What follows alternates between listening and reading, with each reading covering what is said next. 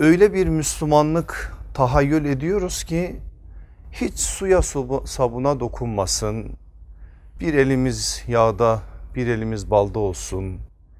Ne söylersek alkışlansın, taltif görsün. Hiç kimse bize kızmasın. Biz de kimseye kızmayalım. Güzel güzel geçinelim, güzel güzel gidelim. En sonu da cennet olsun. Bizim inandığımız, okuduğumuz değerlerde böyle bir şey yok. Haşa biz Allah'tan farklı bir şey istiyor değiliz. Biz biliyoruz ki Allah'tan afiyet istenir. Allah'tan selamet istenir.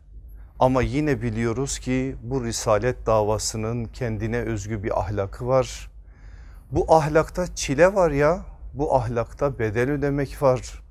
Bu ahlakta bazı şeyleri göze almak var, bazı şeyleri gözden çıkarmak var. Fedakarlık var, var da var, bunlar da var.